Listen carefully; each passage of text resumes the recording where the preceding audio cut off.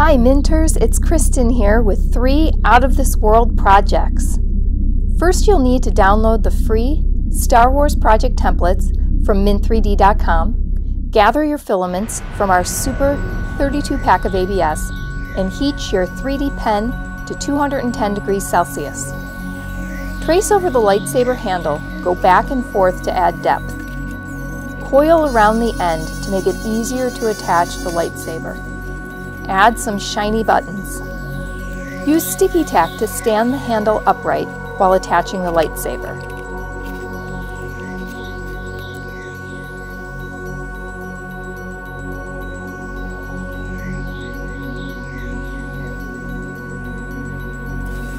Start the tie wing fighter by tracing the wings in gray filament and filling them in with black. Place sticky tack on a marble as a way to hold it while winding filament around one half of the sphere. Make a second half and join together. Hold the ball about an inch above the center of one wing and connect.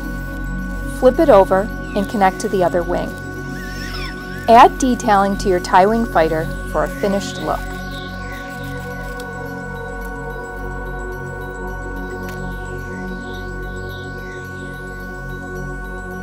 Looking for a more advanced 3D project? Use your Jedi skills and our free template to make Luke's X-Wing fighter. Trace and fill in all the pieces of the template.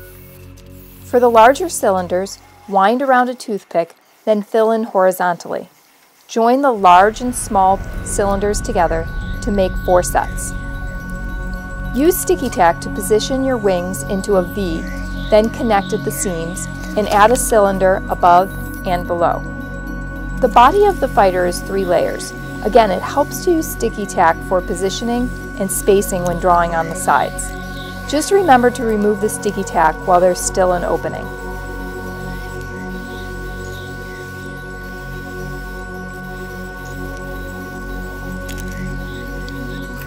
Then connect the wings on either side of the fighter body to create the X formation. Draw the four wing guns in black filament and attach. Fill in the front of the cylinders in black, followed by the window area. Switch to the fluorescent red filament to add color and detailing to the body and wings and lights in back. With bright blue, draw on R2's head and finish with the window frame and transparent window.